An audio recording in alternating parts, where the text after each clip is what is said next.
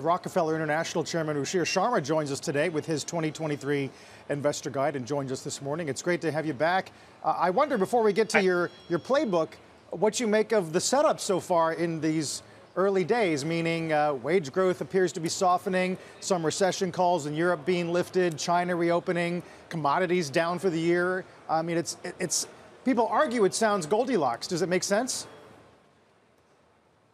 Think it does in some extent, in that the uh, consensus, uh, as I even argued in my piece, that there's never been a time in history where economists have accurately forecast a recession. As you know, that in fact, if all the recessions in post World War II history, economists have a track record of having never called one. And yet, we got to a point late last year where a majority of economists, for the first time in history, were calling for a recession. So there's potential for an upside surprise as far as economic growth is concerned.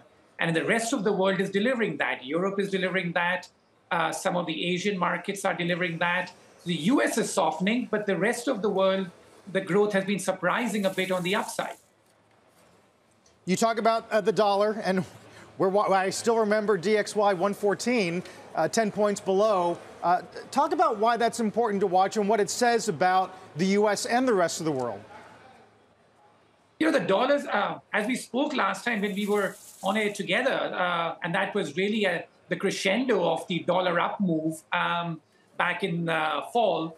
That, that really, I think, marked a climactic top. As happens with most big trends, you get this climax where everyone gets very bullish, can only see upside in the currency. And the dollar has already been in a bull market for over a decade. That's the longest bull market in the US dollar ever since it became a freely floating exchange rate in the 1970s. So I think a dollar downturn was overdue. It has begun. The dollar seems to have peaked. And that has very important uh, implications, I think, for international markets that typically emerging markets, international markets tend to outperform when the dollar is weakening. And that's the playbook we have seen.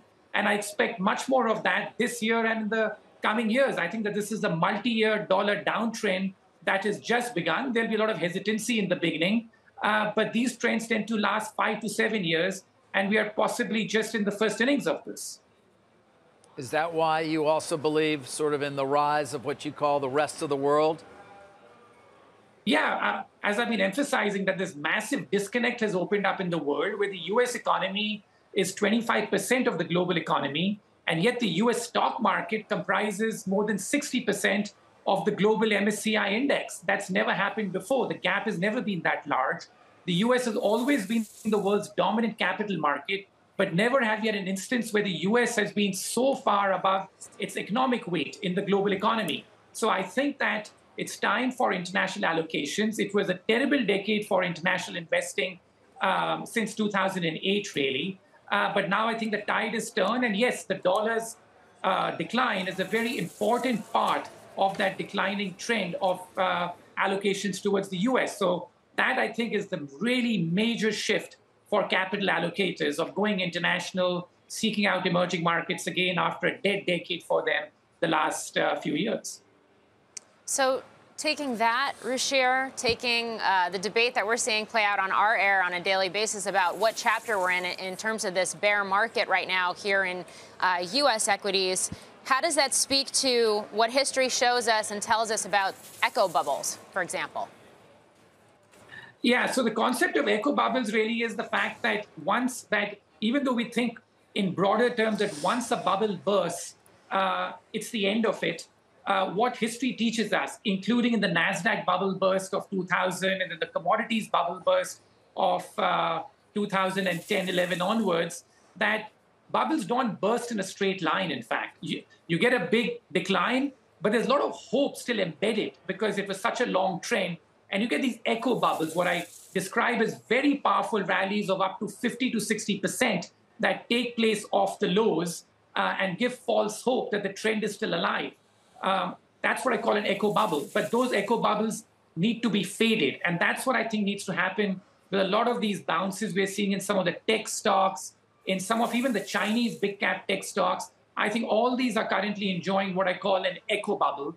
Uh, but just like we saw in 2001, 2002, or even a decade ago with commodities, that all these tend to fade after very big bounces. The leadership changes in a new bull market or once a bear market sets in.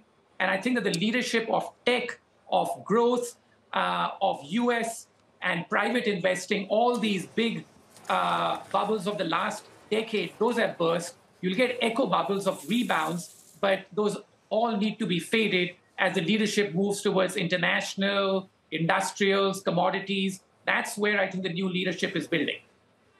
Yeah, that's interesting. I'm actually really interested in your your view that there will be structural churn in large tech, the players within large tech, uh, and that a lot of it will be industrial. But, you know, for example, today, uh, so much discussion about OpenAI and Microsoft's investment. I mean, that has, that has severe co- uh, consumer consequences.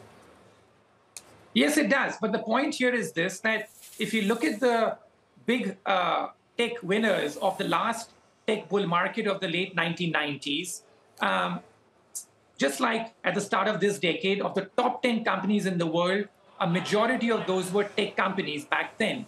The only real survivor after that, which continued to be in the top 10, uh, was Microsoft. All the other big tech winners of that decade, uh, Cisco, IBM, Nokia, NTT Docomo around the world, all those faded into oblivion. And I think that's the true nature of capitalism, and even more so in tech, that there's a lot of mortality. And once you reach such an elevated level, some new business model comes in, some new technology comes in and takes over. So, therefore, I suspect that the big cap tech still has a lot more to fall over the next few years, or at least underperform. Uh, and maybe there'll be one or two survivors. But of the 10 uh, leading companies in the world at the start of this decade, history suggests that only one or maybe two will still be in that top 10 by the end of this decade. So, massive churn waiting to happen still. Yeah, some of us are old enough to remember some of the names you just mentioned. We used to talk about them all the time. Ruchir, thanks. Yes. Talk soon.